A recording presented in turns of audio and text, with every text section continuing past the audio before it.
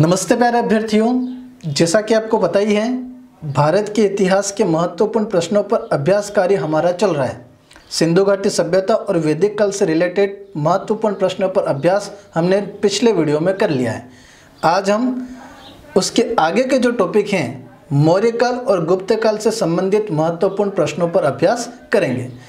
आपको इससे फ़ायदा ये होगा कि रीट पटवारी और कांस्टेबल में भारत का इतिहास है इन प्रश्नों को सोल्व करते समय और प्रश्नों की हम जब व्याख्या करेंगे, तब संबंधित टॉपिक आपका पूरा माइंड में वापस रिकॉल हो जाएगा, पढ़ा हुआ ज्ञान स्थायी हो जाएगा और कोई गलती है तो उसको भी आप नोट करके वापस सही तरह से आप अभ्यास करने में लग जाएँगे।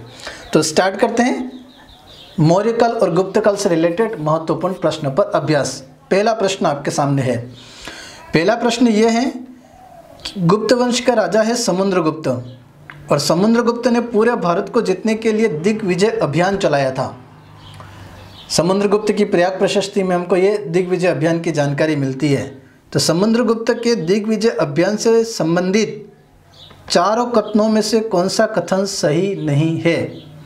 तो पहले तो आपको दिग्विजय अभियान क्लियर होगा तो ही आप इस आंसर तक पहुँच पाओगे। चारों ऑप्शन को देखते हैं। पहला ऑप्शन है, समुद्रगुप्त की पहली नीति थी प्रसबोधरण की नीति। ये उत्तरी भारत या आर्यावर्त के नौ राजाओं के साथ अपनाई। ग्रहण मोक्ष अनुग्रहण की नीति दक्षिणी भारत के बारह राजाओं के साथ में अपनाई। दक्षिण के बारह राजाओं के संघ का नेतृत्व उस समय महेंद्र पाल राजा ने किया था और विदेश नीति का संबंध शक और कुषाण राजाओं से संबंधित है। ऑप्शन आपको चूज़ करना है कि अभियान से संबंधित कौन सी नीति सही नहीं है। तो प्रसबोधरण की नीति आर्यावर्त के नौ राजाओं के साथ में अपनाई थी। क्लियर सही है? आर्यावर्त के नौ राजाओं को जीत करके उन राजाओं के क्षेत्र को सीधे गुप्त साम्राज्य में मिला दिया था। उनका समूल नष्ट कर दिया था। इसको कहते हैं प्रसबोधरण की नीति। ऑप्शन तो समुद्रगुप्त के दिग्विजय अभियान के संबंध में सही है। ब ऑप्शन, ग्रहण करना, दक्षिण के बारह राजाओं के क्षेत्रों को जीत करके। दक्षिण के बारह राजाओं को जीवित छोड़ देना मतलब मोक्ष। और अनुग्रहण दक्षिण के बारह राजाओं को उनका क्षेत्र उनको अधीन करके वापस लौटा देना। तो ग्रहण मोक्ष अनुग्रहण की नीति दक्षिणी भारत के बारह राजाओं के साथ में अपनाई थी। सही है। तीसरा, जब समुद्रगुप्त साउथ पर अटैक करने जा रहा था, तब साउथ के बारह राजा एक होकर के एक संघ बना दिया था। तो साउथ के बारह राजाओं के संघ का नेतृत्व तो उस समय काची के एक राजा ने किया था और काची उस समय पल्लव वंश की कैपिटल थी और काची के राजा का नाम क्या था? तो उस समय काची के राजा का नाम विष्णु गोप था। तो यहाँ पर जो महेंद्रपाल है, ये गलत दे रखा है, ये युग्म में सही बैठता नहीं है। तो दक्षिण के बारह राजाओं ने संघ बनाया था और संघ का नेतृत्व महेंद्रपाल न होकर के विष्णु गोप राजा था। विष्णु गोप पल्लव वंश से संबंधित था। पल्लव वंश की उस समय कैपिटल काची थी। विदेशी नीति शक व कुषाण राजाओं से संबंधित थी। शक और कुषाण राजाओं को हराया और उनको आत्मनिवेदन, गरुत्मंदक और कन्यायापन की नीति उनके साथ में अपनाई थी। तो पहले में अपने लिए सही हो गया ऑप्शन स, क्योंकि बारह राजाओं के संघ का नेतृत्व किसने किया था? विष्णु गोप ने किया था, न कि महेंद्रपाल ने। अगला प्रश्न हम देख रहे हैं, दूसरा प्रश्न।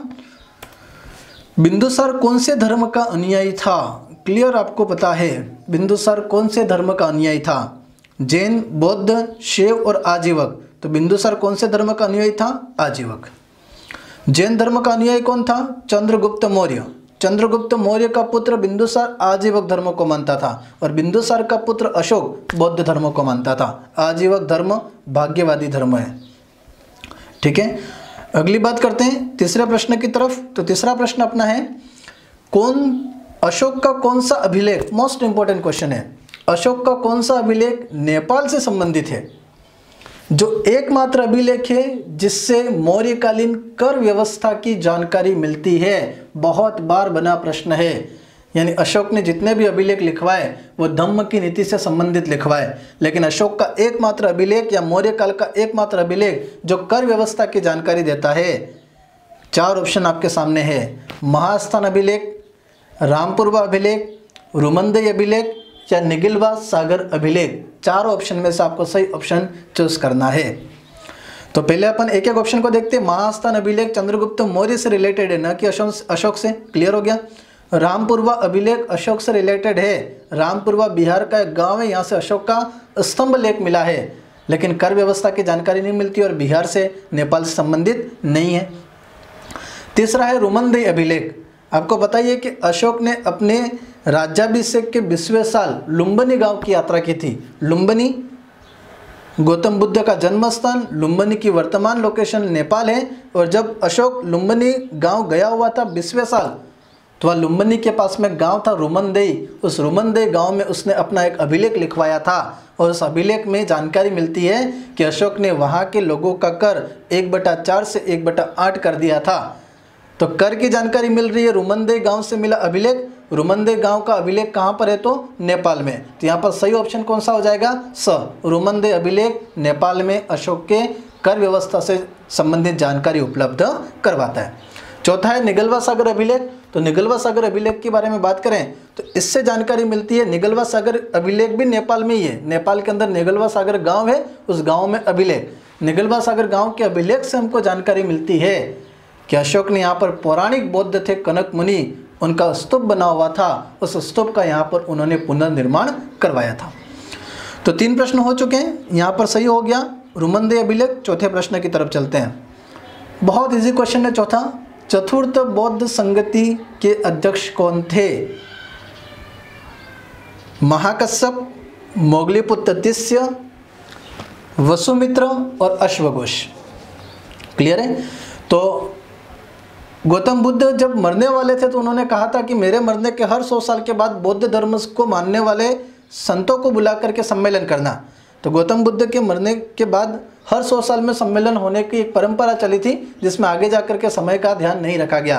पहला, चार सौ इक्यासी ईसा पूर्व, दूसरा, तीन सौ इक्यासी ईसा पूर्व, तीसरा, दो सौ इक्यावन ईसा पूर्व और चौथा अठहत्तर ईस्वी, चार सम्मेलन हुए थे। तो कहा गया कि चतुर्थ बौद्ध संगति किसके समय हुई थी? तो कनिष्क के समय। कनिष्क कौन से वंश के? तो कुषाण वंश के। पहली बात। चौथी बौद्ध संगति के अध्यक्ष कौन थे? तो वसुमित्र। और चौथी बौद्ध संगति के उपाध्यक्ष कौन थे? तो अश्वघोष। तो सही कौन सा हो गया? वसुमित्र। चौथी बौद्ध संगति के अध्यक्ष, उपाध्यक्ष, चौथी बौद्ध संगति का अश्वघोष। मोगली पुत्र तिस्य कौन है?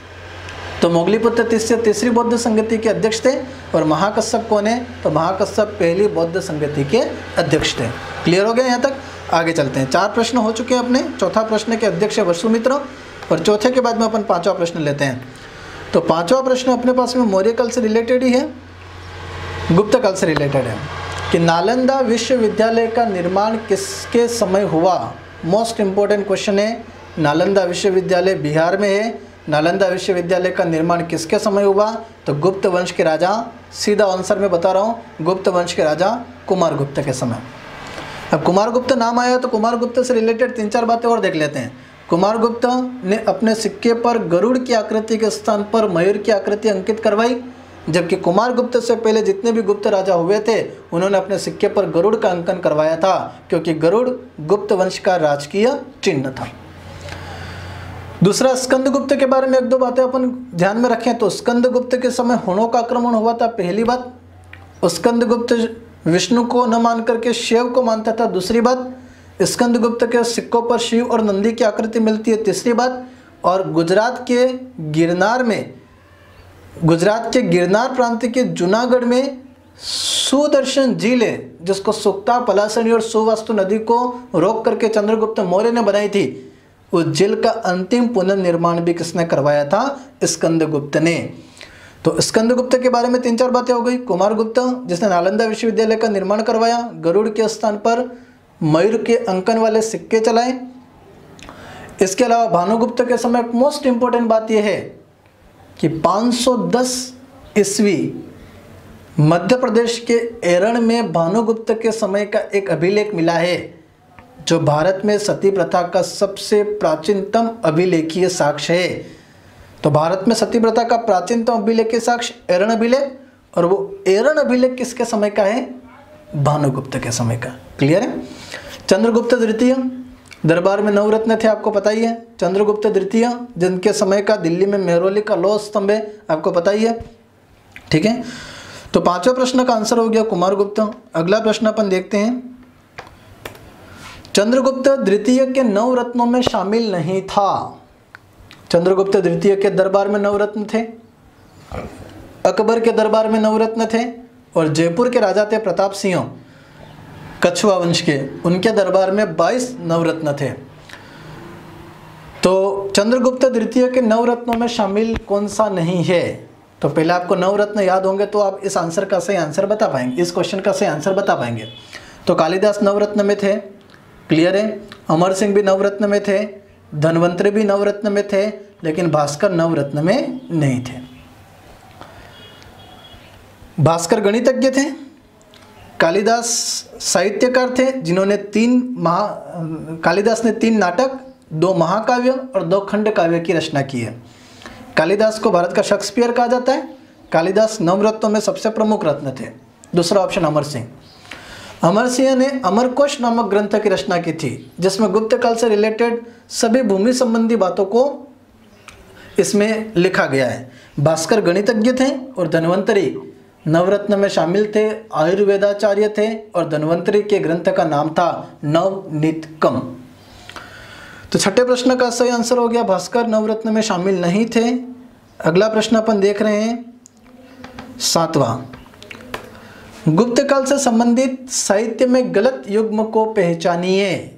एक तरफ़ मैंने रचनाकार लिखे हुए हैं और उनके सामने उनकी रचना है। तो रचनाकार और रचना के संबंध में आपको गलत कथन छाटना है। तो शुद्रक का ग्रंथ मृक्ष कटिकम पहली बात आर्यभट्ट का ग्रंथ सूर्य सिद्धांत, दूसरी बात वरामहिर का ग्रंथ पंच सिद्धांतिका, तीसरी बात और वर रुचि का ग्रंथ रावणवध। चार ऑप्शन आप देखिए। गलत युग्म को पहचानिए कि साहित्यकार और उसकी रचना में कौन सा जोड़ा सही नहीं है। तो शुद्रक का मृक्ष कटिकम ग्रंथ सही है, क्योंकि मृक्ष कटिकम ग्रंथ शुद्रक ने लिखा है। मृक्ष कटिकम का मतलब होता है मिट्टी की गाड़ी, और इस ग्रंथ से हमको जानकारी मिलती है कि वर्ण व्यवस्था बदल चुकी है, क्योंकि चारुदत्त नाम का ब्राह्मण वसंत सेना नामक वेश्या से प्रेम करता है, और चारुदत्त नाम का ब्राह्मण व्यापार करने लग गया है। तो मृक्ष कटिकम गुप्त काल का एकमात्र ऐसा ग्रंथ है, जिसमें राजशाही वंश के किसी व्यक्ति को पात्र बना करके ग्रंथ नहीं लिखा है, मध्यम वर्ग के लोगों को पात्र बना करके ग्रंथ लिखा गया है। मृक्ष कटिकम कटिकम का अर्थ मिट्टी की गाड़ी होती है, और मृक्ष कटिकम में नायक चारुदत्त है, और नायिका वसंत सेना है। सही है शुद्रक ने लिखा मृक्ष कटिकम मतलब ये गलत युग्म नहीं है। आर्यभट्ट के दो ग्रंथ हैं। पहला ग्रंथ का नाम है सूर्य सिद्धांत, और दूसरे ग्रंथ का नाम है आर्यभट्टियम मतलब ये भी सही है। वरामहिर के दो ग्रंथ हैं। पंच सिद्धांतिका और वृहत संहिता। तो ये भी जोड़ा सही है। और वर रुचि के ग्रंथ का नाम है वृत्तिका। पाणी ने एक ने जो अष्टाध्याय ग्रंथ लिखा था, उस पर टीका है वृत्तिका। तो वर रुचि के आगे मैंने रावण वध लिखा है। तो रावण व्रत ग्रंथ वर रुचि का न होकर के वो भट्टी का है। तो भट्टी का रावण वध ग्रंथ है, इसलिए वर रुचि वाला जोड़ा यहाँ पर सही नहीं है। याद रखना है आपको कि वर रुचि के ग्रंथ का नाम वृत्ति का है। और वृत्ति का जो ग्रंथ है वो पाणिनि के द्वारा लिखी गई अष्टाध्याय ग्रंथ पर टीका है। क्लियर है? अगले प्रश्न की तरफ़ चलते हैं। तो अगला प्रश्न अपना है, भारत में सर्वप्रथम सोने के सिक्के जारी करने का श्रेय किसको दिया जाता है? मोस्ट इंपोर्टेंट क्वेश्चन है कि भारत में सबसे पहले सोने के सिक्के जारी करने का श्रेय किसको देते हैं? ऑप्शन देखिए। हिंद यवन शक, कुषाण और गुप्त वंश। तो भारत में सबसे पहले सोने के सिक्के जारी किए थे हिंद यवन राजाओं ने। मौर्य काल के पतन के बाद हिंद यवन वंश भारत में सेट होता है। सबसे शुद्ध सोने के सिक्के जारी किए थे कुषाण राजाओं ने और सर्वाधिक सोने के सिक्के जारी किए थे गुप्त राजाओं ने। तो तीन तरह की बातें याद रखना। सबसे पहले सोने के सिक्के हिंद यवन राजाओं ने जारी किए सबसे शुद्ध सोने के सिक्के कुषाण राजाओं ने जारी किए और सर्वाधिक मात्रा में सोने के सिक्के गुप्त राजाओं ने जारी किए। तो यहाँ पर ऑप्शन कौन सा सही हो गया? अ। आठ प्रश्न हो चुके हैं, नौवे प्रश्न की तरफ़ चलते हैं। प्रश्नों से संबंधित पीडीएफ फ़ाइल आपको टेलीग्राम चैनल पर मिल जाएगी। डिस्क्रिप्शन बॉक्स में जाइए।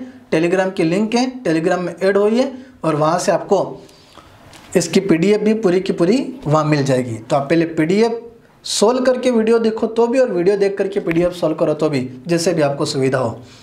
आठ प्रश्न तक अपन पहुँच चुके हैं, नौवा प्रश्न। गुप्त काल की वास्तुकला से संबंधित है। वास्तुकला, साहित्य, विज्ञान, गणित में अत्यधिक प्रगति के कारण गुप्त काल को भारत का स्वर्ण काल कहते हैं। और प्रश्न यहाँ पर वास्तुकला से संबंधित है कि भारत में शिखर युक्त प्रथम मंदिर कौन सा है? शिखर मंदिर की छत के ऊपर जो शिखर बना होता है तो भारत में शिखर युक्त पहला मंदिर कौन सा है? प्रश्न है। देवगढ़ का दशावतार मंदिर, जिसमें विष्णु के दस अवतार हैं।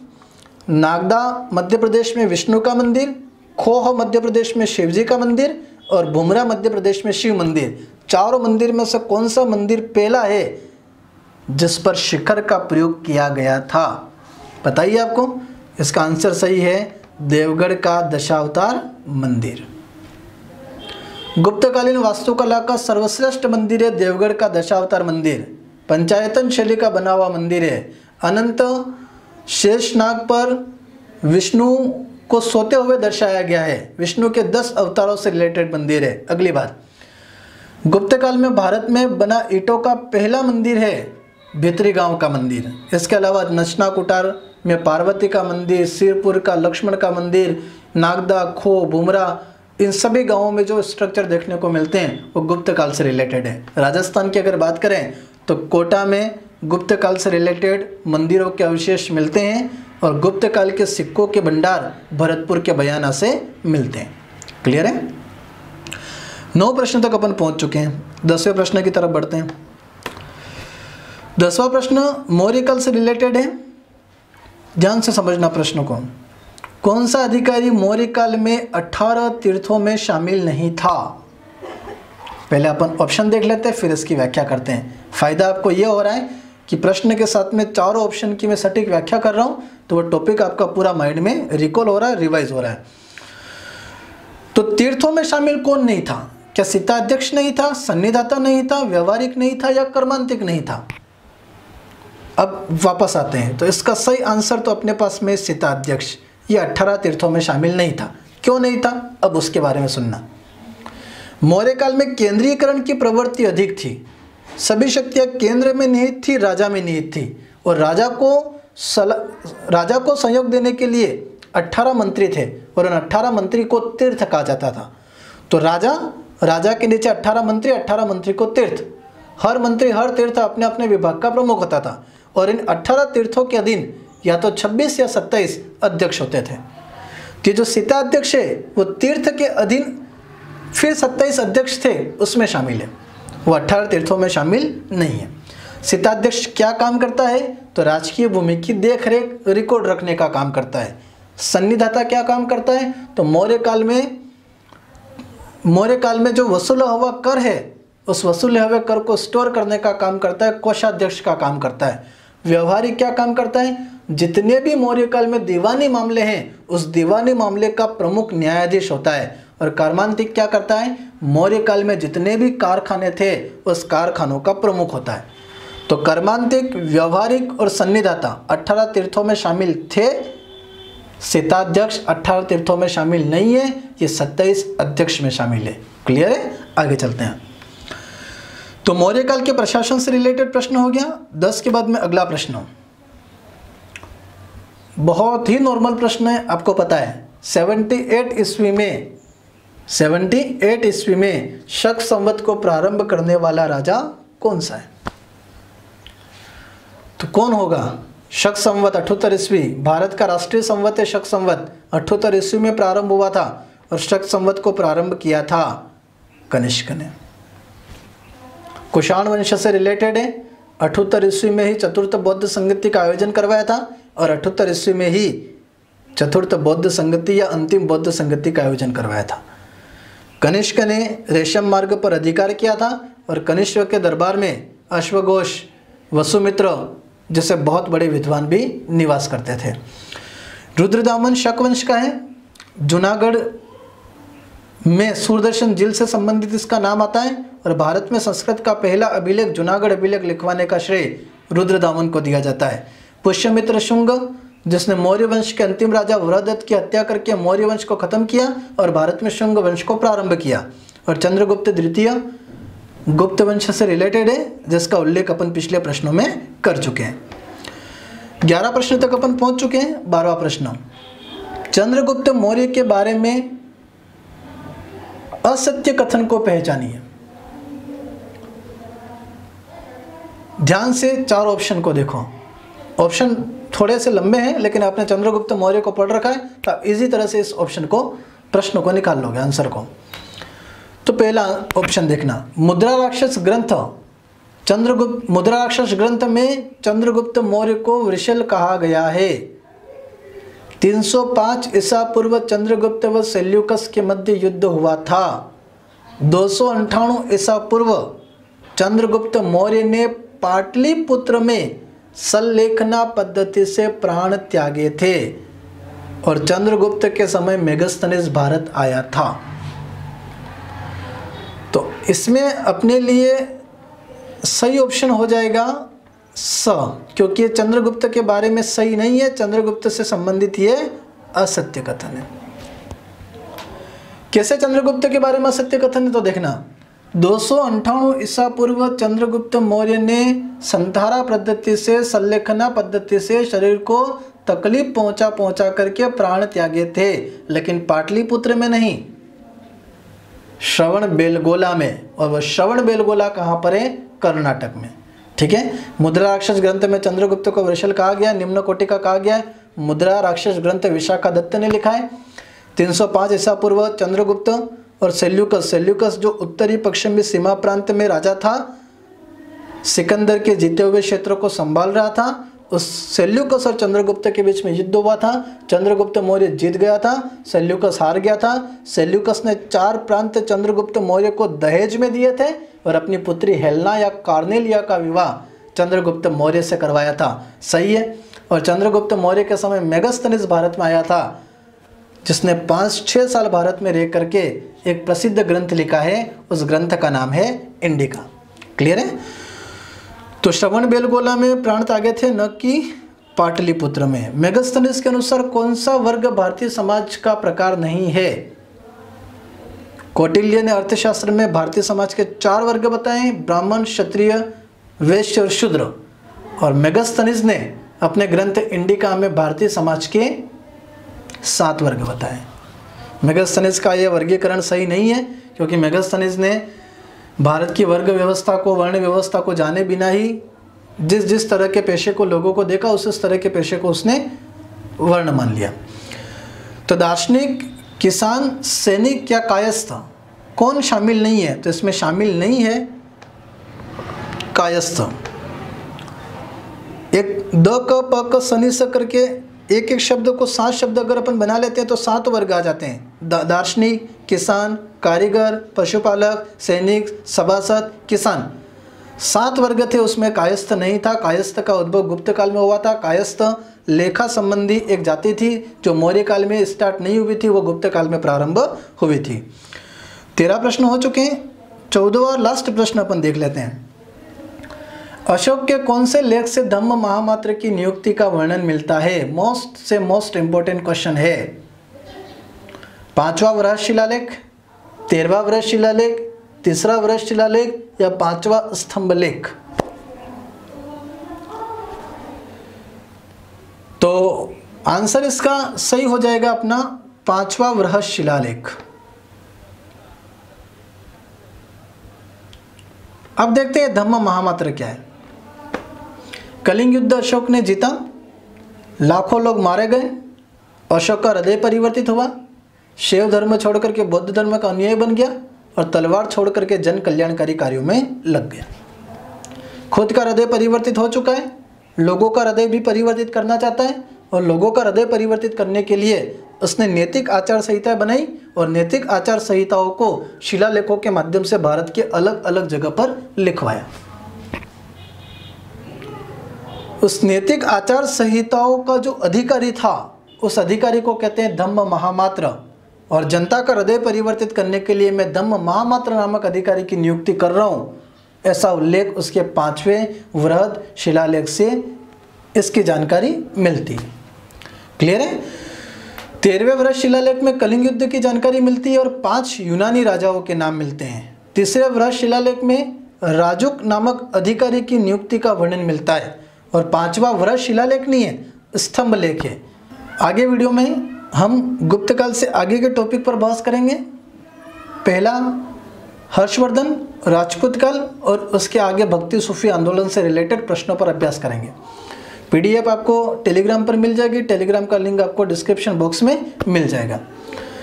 अच्छे से तैयारी कीजिए, समय सारणी और योजना को फॉलो कीजिए सिलेबस को कंप्लीट कीजिए ज़्यादा कंटेंट पढ़ने से अच्छा है कि कम विषय वस्तु को लेकर के बार बार उसका दोहराव करो सिलेबस कंप्लीट हो जाए, दोहराव होता रहे पॉजिटिव सोच बनी रहे और तनाव हावी नहीं हो।